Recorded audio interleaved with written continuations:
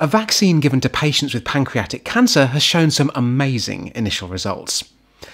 Pancreatic is one of the deadliest cancers, and even with the best currently available treatments, 90% of patients are dead within five years. In this trial, 16 patients were given the new vaccine, and 8 saw their cancer disappear completely. Obviously, this is a small number of people, but that's still incredible for a cancer that's normally so aggressive.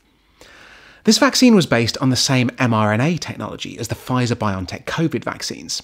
Except instead of showing the immune system what a coronavirus looks like, each patient was given a custom cocktail of mRNAs tailored to their tumour, which allowed their immune system to recognise their cancer cells.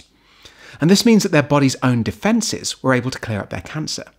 And because our immune cells roam all around our bodies, they can even clear up metastatic tumours that have spread far from the initial site.